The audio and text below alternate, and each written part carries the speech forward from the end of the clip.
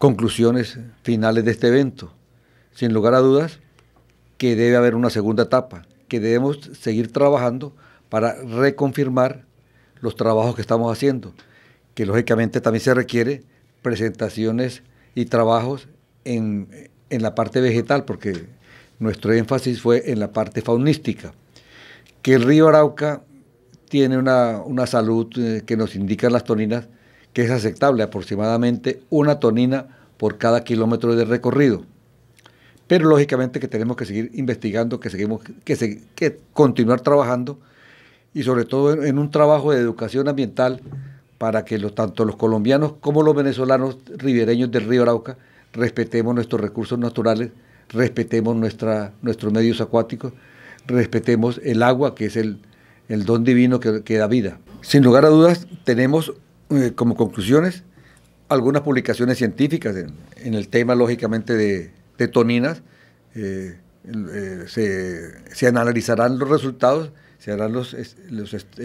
análisis estadísticos del caso para, hacer un informe científico que van a, van a tener las principales revistas de ciencias del país. En Caimanes estaremos trabajando porque tiene que haber de los caimanes que vienen de, de la Universidad Nacional, si es que llegan,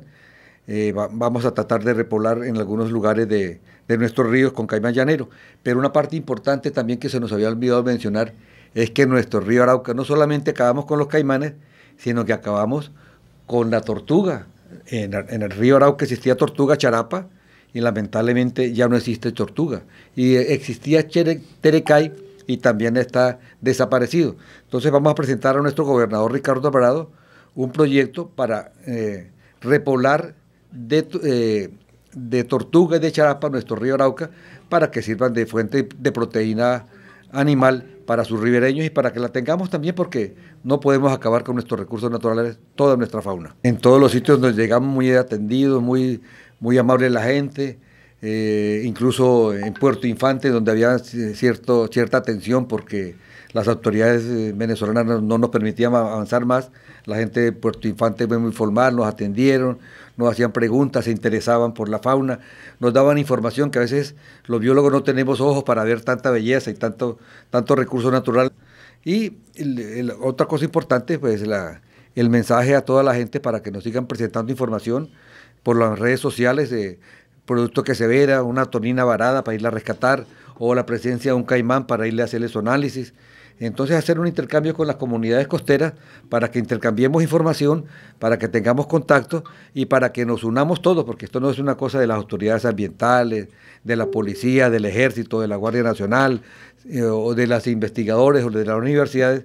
sino que es un trabajo conjunto entre todos, comunidad, organizaciones sociales y el gobierno, que lógicamente tiene que tener las directrices en este sentido para, para completar el 10% de, investiga de, de innovación y 10%, 90% eh, de financiación, que, porque la plata es el motor que mueve la ciencia y la tecnología.